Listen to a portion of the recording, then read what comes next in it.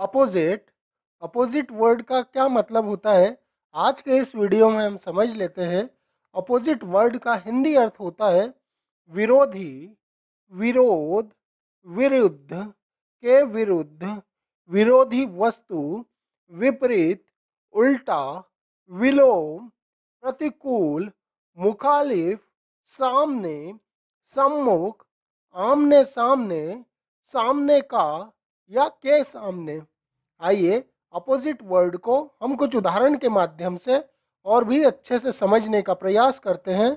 हमारा पहला उदाहरण है I was standing opposite your house in morning time इसका हिंदी मतलब है, मैं सुबह के समय आपके घर के सामने खड़ा था। आइए दूसरा उदाहरण और देखते हैं। Answers are given on the opposite page इसका हिंदी मतलब है, उत्तर विपरीत पृष्ठ पर दिए गए हैं। इस वीडियो को लाइक करें और हिंदी इंग्लिश शब्दों का सीधा सीधा मीनिंग जानने के लिए चैनल को सब्सक्राइब करें और बेल का बटन प्रेस करें।